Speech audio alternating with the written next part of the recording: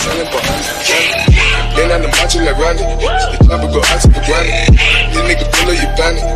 The killers understand. Uè, bella a tutti ragazzi e benvenuti ad un mio nuovo video! Io sono Xuder e ragazzi oggi siamo qui a parlare di Fortnite E voi direte Xuder perché stiamo parlando di Fortnite? Perché ragazzi ieri 8 novembre, ieri pomeriggio o ieri mattina non lo so È uscita la patch 1.8.2 che non è proprio una roba che va lasciata inosservata, è una patch che inserisce delle cose molto interessanti per noi giocatori free play di Fortnite, ma anche fa capire l'impegno del team a migliorare questo gioco anche per computer che non sono propriamente da gaming, ma diciamo sono nella media. Voglio ricordarvi ragazzi intanto che Fortnite è un videogioco ancora in anteprima, vi ricordo l'uscita ufficiale in realtà è per il 2018, anche se se ne parla dal lontano. 2012, è stato fino ad oggi scaricato da 20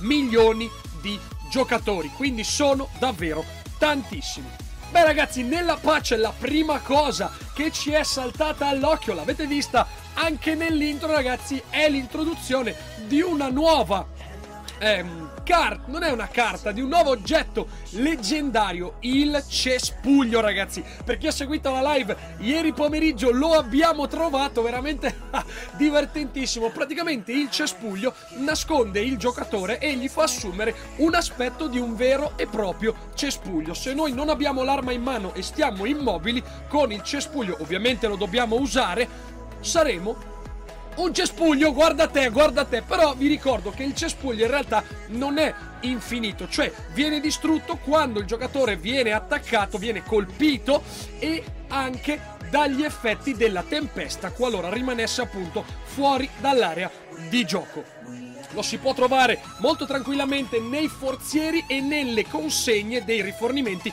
che vengono date a random nella mappa. Ma non è tutto qua ragazzi, l'aggiornamento, questa è la roba un pochettino più interessante, hanno anche modificato il negozio stagionale che è praticamente il nuovo negozio di oggetti che si possono acquistare per la battaglia reale, la modalità quella non free di Fortnite. Il negozio stagionale l'abbiamo già sicuramente visto, ci offre dei deltaplani, dei costumi e degli strumenti per la raccolta unici nuovi. Tra l'altro ragazzi ogni livello, cioè a gruppi di livello ehm, potremo sbloccare le abilità di acquistare dei nuovi oggetti piano piano che incrementiamo il nostro personaggio. Nel dettaglio ragazzi a livello 5 sbloccheremo un attacco aviotrasportato per il deltaplano, deltaplano. Dobbiamo vedere ancora bene che cos'è. A livello 15 si sblocca il costume da milite d'assalto. A livello 20 ancora un costume, l'incursore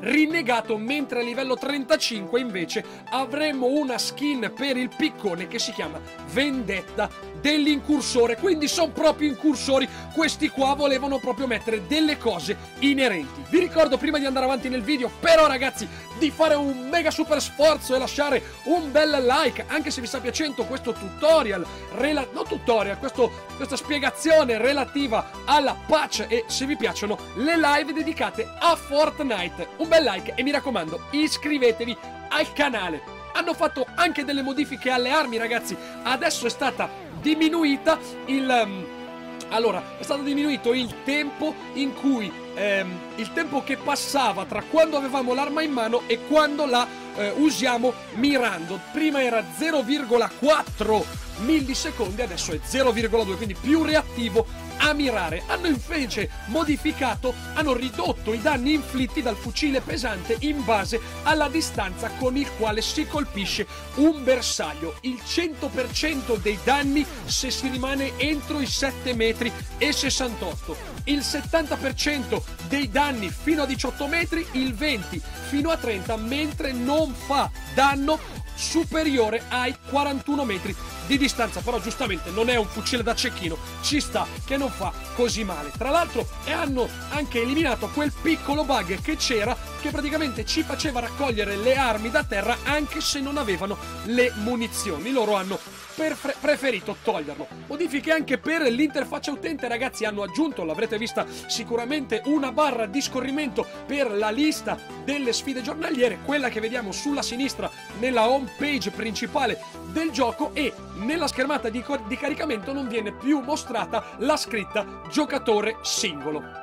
Modifiche anche ragazzi al controller. Se per caso usiamo un joystick per giocare a Fortnite ed è il mio caso io faccio controller ehm, e mouse per sparare con il mouse per muovermi col controller praticamente hanno inserito una configurazione che si chiama, prof, si chiama professionista del combattimento. Praticamente si deve andare a settarla dalle impostazioni di gioco hanno invece migliorato, come vi avevo già anticipato, le prestazioni generali del gioco che viene un po' scaricato dalla pesantezza che poteva portare su alcuni computer. Hanno ottimizzato il rendering delle ombre per appunto incrementare generalmente le prestazioni. Cioè eh, voi lo sapete la, una delle cose che pesa tanto a livello di grafica e a livello di prestazioni su un computer è appunto l'ombreggiatura di tutto quello che vediamo che a voi sembrerà niente ma in realtà è un bel processo per il nostro computer. Adesso l'hanno un pochettino ridotta hanno anche migliorato i calcoli della visibilità degli oggetti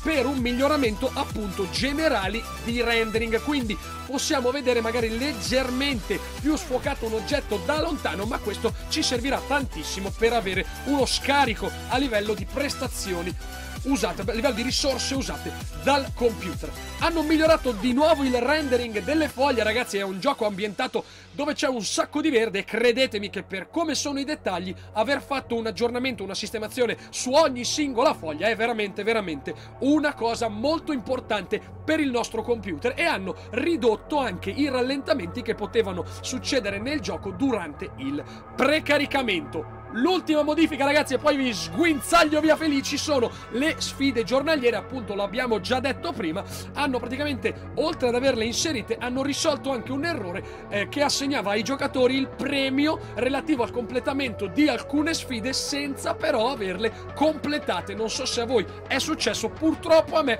personalmente no. Beh ragazzi io spero che vi abbia un po' schiarito le idee sulla patch che è uscita ieri Vi ricordo di lasciare un bel like, di iscrivervi al canale e noi ci vediamo in live Ciao!